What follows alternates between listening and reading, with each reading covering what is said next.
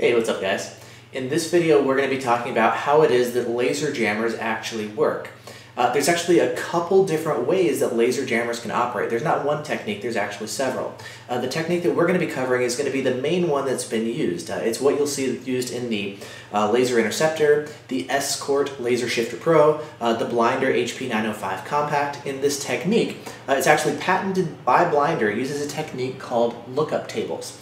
And the idea is that it's going to basically pay attention and notice what gun it's being shot with, and then it has a whole table that it looks through of saying, ah, when you see this gun, here's how you jam it. So it's kind of using a lookup table. There's actually a really good explanation by Junkyard Messiah, who's done kind of a whole talk on this, and a lot of what I'm going to share uh, comes from his video, so that's definitely worth watching. I'll put a link in the video description uh, to where you can uh, watch that one. Um, additionally, kind of before I get started, I want to point out uh, this presentation style. I want to give a shout out to Jason Fenske of the YouTube channel Engineering Explained. Uh, he does a really cool um, YouTube channel explaining how things in cars work, and he does this kind of format with uh, dry erase boards and explaining stuff, and I really like it. So I'm basically, um, you know, kind of mimicking his style. So shout out to you. Thanks, Jason. Um, anyways, so with all that said, uh, let's go ahead and jump into how laser jammers work. Uh, if you haven't yet watched my video on how laser guns work, uh, go ahead and watch that one first. It's going to explain a lot of the stuff here, and once you understand how laser guns work, then uh, it'll make more sense what we need to do to actually jam that. So watch that video first. Okay, so here's how uh, we're going to wind up jamming the gun. Uh, the way things normally would work is, uh, if this is our LiDAR gun here, and this is our car that the LiDAR gun is going to be targeting, what's going to happen is it's going to be sending out a series of pulses like this. They're going to hit the vehicle, and they're going to reflect and bounce back. Again, we covered this in the LiDAR gun uh, video. Now, what's going to happen is if you want to jam the LiDAR gun, you're going to have to actually insert some jamming pulses, and here's what you're going to do. Uh, we're going to have the same pulses that are being shot. Then uh, the first couple pulses are going to get reflected back from the vehicle itself, and then the LiDAR gun is going to start inserting its jamming pulses. Now, the key to the jamming is not power. We're not trying to like blind it to the point where it can't see the pulses, but it has to do more with timing. And the idea is if you can insert a jamming pulse just before the actual reflected pulse, uh, the LiDAR gun is going to pay attention to the jamming pulse and it's going to ignore and throw out the actual reflected pulse. So it has to do more with timing. Now, uh, here's the way that it works. Um, when we're looking, or when we're using lookup tables, the idea is we need to know what gun it is that we're being shot with. The different guns have different pulse, uh, pulse rates. They can be operating at 100 pulses per second, 125, 200, 4,000 pulses per second. So it's going to be a regular pattern, you know, pulse, pulse, pulse, pulse. But uh, how fast those pulses are coming is going to depend on how the gun itself is designed. And this is actually what the uh, jammer uses to jam, and it's how it's able to announce when you get shot what gun you're being shot with, whether it's Kustom ProLaser 3, a TruSpeed S, whatever it is. It's looking at the pulse rate of the gun. So what we're going to look at is the first couple pulses, you know, they're all going to hit the car, and then the first ones are going to reflect back to the LiDAR gun completely untouched. Uh, we can take a look at how long it takes from the first pulse to the second pulse, the shorter the time, the faster the pulse rate, right? The longer it takes from one pulse to the next, the slower the pulse rate. And once we know how long it takes between the first and the second pulse, we now know what the pulse rate is. So for example, if the pulse rate, if it takes one one hundredth of a second to get the first pulse and then the second pulse, uh, we know that every one one hundredth of a second there's going to be another pulse, another pulse, another pulse. And that's going to be the key to jamming.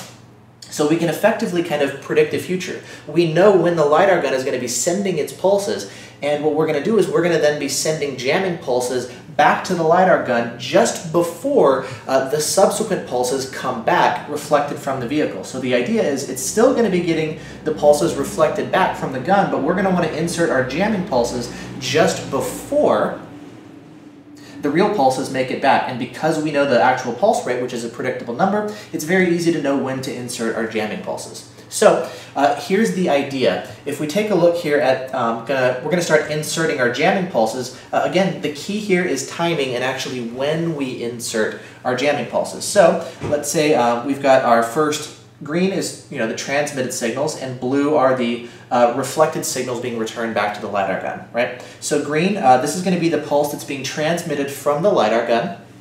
This is the signal that's being reflected back to the LiDAR gun from the vehicle. Pulse number two. we've got our transmitted pulse, our reflected pulse. At this point, again, the LiDAR gun knows how long it takes between this and this, so it now knows what the pulse rate is of the gun. So now it knows when it can start uh, inserting its jamming pulses and when to expect the future ones, right? So what it's going to do here, you're going to notice we're going to have uh, our transmitted pulse, our red jamming pulse, and then our blue actual returned pulse. Uh, again, we're not stopping the return pulses, we're inserting jamming pulses just before the actual return pulse. So the LiDAR gun throws out the actual ones and is paying attention to the, uh, the jamming pulses. Now here's the key with timing. Um, the idea is take a look at actually when the jamming pulses are inserted. Uh, you'll notice right here that the jamming pulse is inserted halfway, just in this example, between the actual transmitted pulse and the received pulse. Uh, over here, the jamming pulse is inserted really close to the transmitted pulse. Uh, over here, the jamming pulse is inserted very close and just before the return pulse. And the idea is we're going to be varying when the reflected pulse, which is actually the jamming pulse, comes back and is read by the LiDAR gun. Here's why that's important.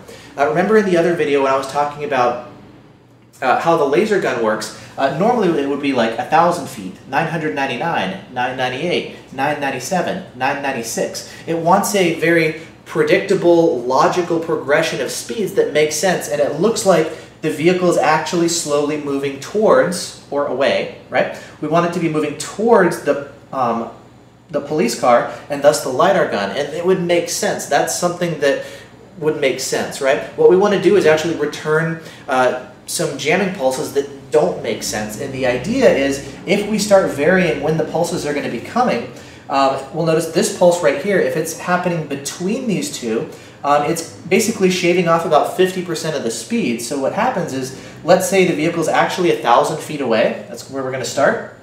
The first pulse that comes back uh, it's going to be 999 feet away, just like before in our LiDAR gun example. Uh, the next one is going to be coming back a lot sooner, in only half the time. This next pulse, uh, we're going to tell the LiDAR gun that we're only 500 feet away from the LiDAR gun.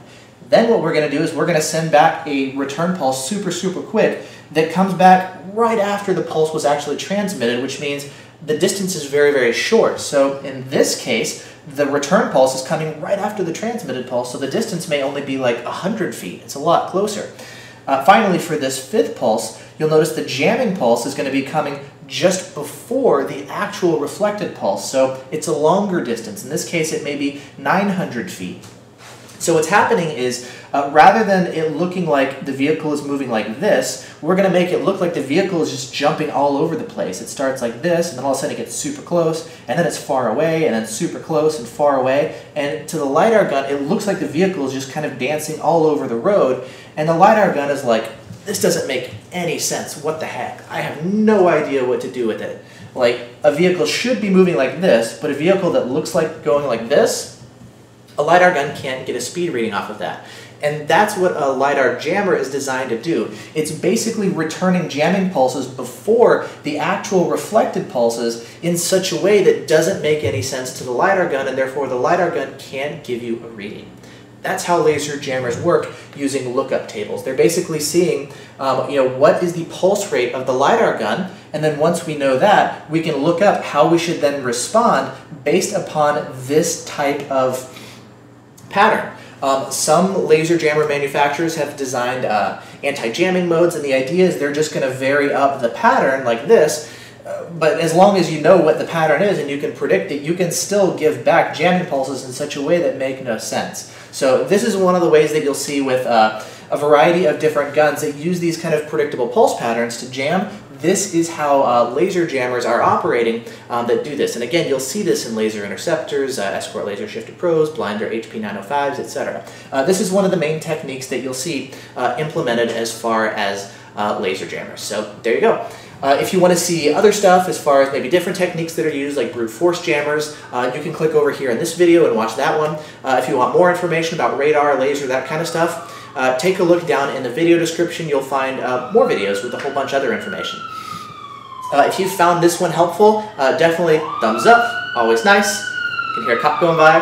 Uh, if you want more videos like this kind of stuff, uh, you can click the red subscribe video or subscribe button underneath this one. If you want to support this channel and help me make more videos, you can go to my channel and actually donate now. And you can donate directly, which does support me and help me out. So that's something that you have available as well. So awesome. Uh, thanks so much for watching. If you guys have any questions, please feel free to ask. Uh, other than that, catch you guys next time. Bye-bye.